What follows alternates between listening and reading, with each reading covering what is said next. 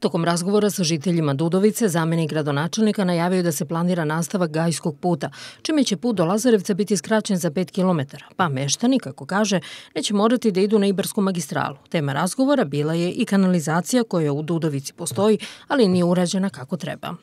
Rekao sam im je u vezi sa kanalizacijom, pošto ovde postoji kanalizacija, do duše nelegalna i ne, niko ne urađena kako treba, da će opština uraditi, uraditi jedan a, projekat a, same rekonstrukcije mreže, da će grad Beograd obezbediti sredstva za izradnju postrojenja za preradu otpadnih voda i konačno će ljudi dobiti normalnu kanalizaciju.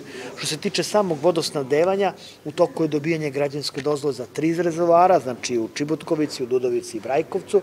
A, to će omogućiti da sa ova tri sela, kada budem zajedno sa, sa mrežom koju će raditi, koju će raditi opština, znači plus Županjac, plus plus, plus Barzilovica, da budu, znači plus ta dva sela, ukupno pet sela, da sva sela budu pokrivena vo, znači sistemom za vodosnabdevanje, što suštinski takođe rešava jedan njihov veliki problem. Zamenik gradonačelnika navodi da će grad obezbediti sredstva iz obnovu škole u Dudovici, a sa meštanima je, kako kaže, razgovarao i o izgradnji opštinskog uslužnog centra. I to će preuzeti opština da uradi projekat, pa ćemo raditi zajedno, a to znači da ovde treba da budu, a to inače radimo sada po Beogradu, upravo radimo u Borči, Rači, pa smo radili u Kaluđerici, pa radimo u Batajnici, pa radimo na Petlovom brdu. Znači tamo gde živi nekoliko hiljada ljudi, najmanje 5000, mi radimo opštinske uslužne centre, stanjamo sve opštinske šaltere, sve gradske šaltere, mnoge republičke šaltere, kao što su RFZO, kao što je saobraćaja policija, kao što je PIO, jednostavno da ljudi mogu bez ikakvih problema tu gde žive da ostvare ono što im treba, da ne moraju da idu čak ni do opštine Lazarevac, a da ne pričamo o Beogradu.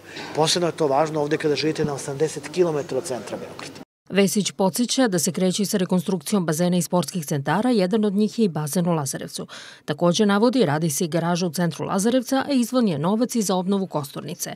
Tokom razgovora građani su se žalili i na probleme sa strujom, kao i na problem dolaska lekara, na što je Vesić odgovorio da nije sve u nadležnosti grada, ali da će tražiti od nadležnih da i te probleme rešavaju. Što se samog Lazarevca tiče, ono čime smo mi najviše ponosni u Lazarevcu, to je izgradnja kanalizacije, koja je vredna oko 50 miliona evra, 103 km kanalizacije, dve fabrike za prečišćavanje otpadnih voda u samom Lazarecu i Velikim Crnjanima. To je projekat koji je koji plaća Republika iz projekta Čista Srbija. Takođe radimo proširenje BG voza, tako da će ljudi iz centra Lazarevca imati autobus na 10, 12 do 15 minuta, autobus, izvinjam se, voz do, do centra Beograda, na 45 minuta van špica, znači će Lazarevac biti saobraćeno povezan sa Beogradom, da možda živite u Lazarevcu i radite u Beogradu, i obratno, što sad možete, ali to zahteva mnogo više vremena. Takođe se radi privredna zona u ovom kraju. Naglašava Vesić, a u dogovoru sa vladom Srbije plan je da se dovede investitor i osnoje velika fabrika. Na taj način otvorilo bi se hiljadu novih radnih mesta u Lazarevcu i omogućilo da veliki broj ljudi dobije posao i pristojne plate, poručuje zamenik gradonačelnika.